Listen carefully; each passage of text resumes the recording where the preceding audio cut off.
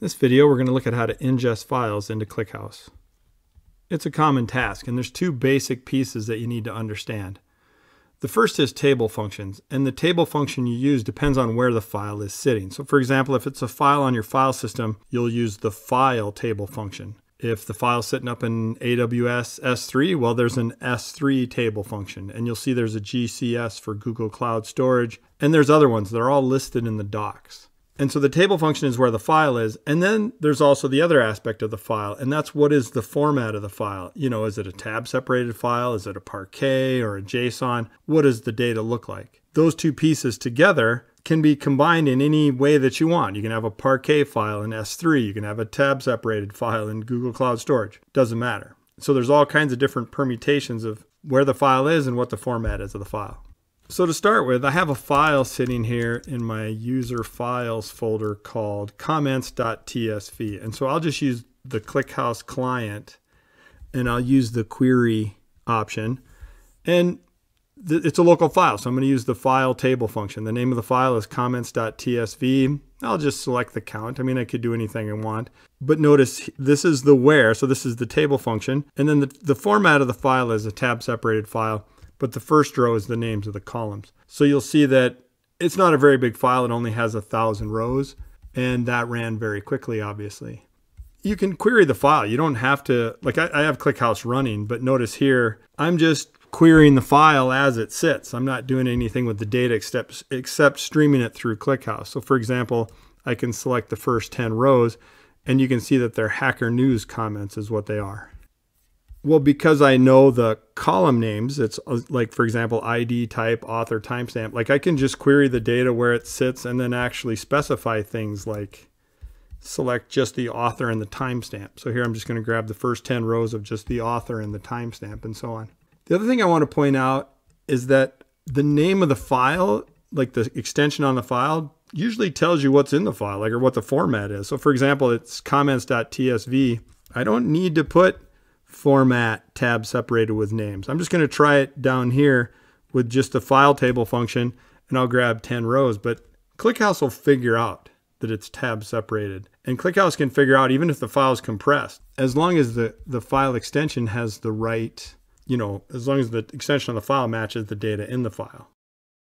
The other thing I want to point out with the table function is that it's inferring the column names and the data types of each column and what it does is it processes thousands of rows to figure out what those uh, data types should be. You can take advantage of that. In this example here, I'm going to create a table called comments. And I'm going to put the data from the file into my ClickHouse table now. So it's going to be a merge tree table. And I just picked a couple of the columns to be the primary key. I picked author and timestamp. And whatever the you know, I'm not specifying column names and types here. Whatever the data inference is. Notice, by the way, the the data inference, if I let me just run the ClickHouse client and describe that. It's really easy to do this.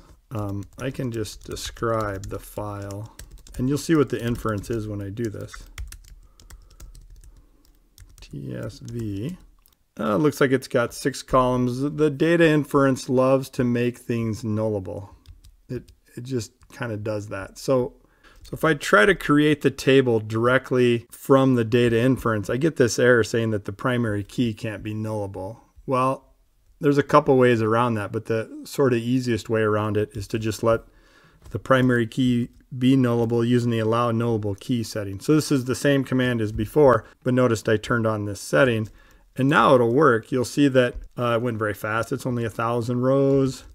Now if I select count, from comments, which is a table inside my ClickHouse, it's it's got the thousand rows. And I can query the data. I can figure out what the average length is of the comments or something like that, just like you would expect to be able to do. So that was a local file that was tab separated. If I have a, let's say I have a Parquet file, here I have a file called hits.parquet, and it's up in S3. Well, then I'll use the S3 table function, and the format would be Parquet, but I don't have to specify that. The Parquet format is figured out by ClickHouse because the name of the file has the Parquet extension. So in that example, lots of columns. This is a decent sized table here. It looks like I got dozens of columns. I'm just scrolling up here really fast. So the hits.parquet file has whatever. Here's what here's what it inferred. Now it's Parquet, so it kind of knows the data types of the columns because that's part of the file format. Here I have a file that's in Google Cloud Storage.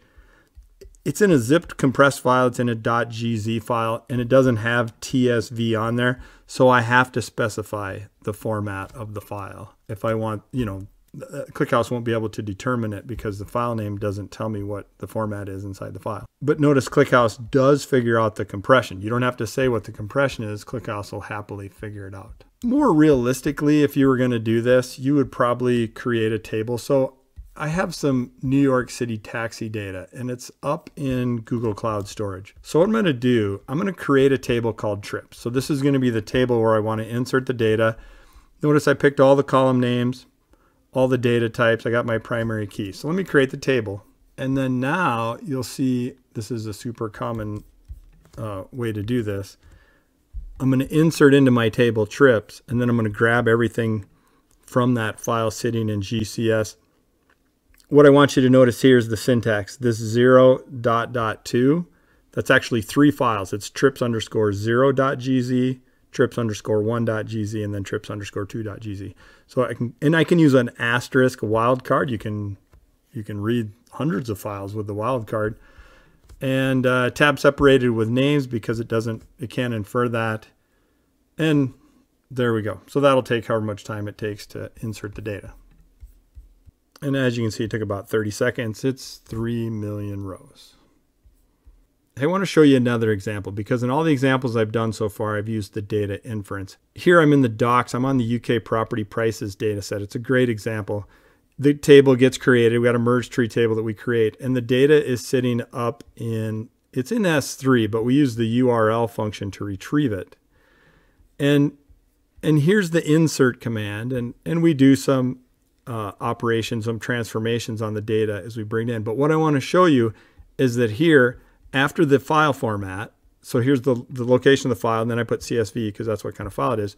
You can, if you want, pass in the schema, not of the table that you want the data to go into. This is the schema of the data in the file.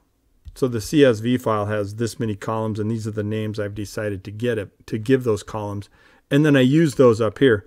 So I want you to see that example as well. Pretty common to do that.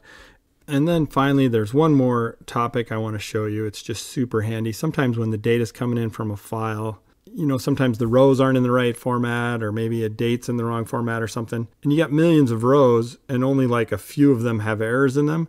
You can actually set this value. It's called input format allow errors num. And you can say, by the way, the default is zero, but you can set it to like a thousand or something. And you can, that way it'll up to a thousand errors, the insert will still work. And if a number doesn't necessarily make sense, notice there's an input format allow errors ratio. And you can say, okay, if 1%, you know, you can set it something small, 1%, 5%, whatever. If that's how many errors could happen and the insert would still work. So I wanted you to see that setting because it's super handy. And so, like I said, when it comes to inserting files, find your table function, which is where the data sits, and then check out the data format. And in the docs, if you go to the SQL reference, you'll see all the table functions right here. And they're listed nicely. And then on the docs homepage, if you scroll down, you can see all the formats. This is a super handy page. Shows you all the dozens and dozens of input and output formats in ClickHouse.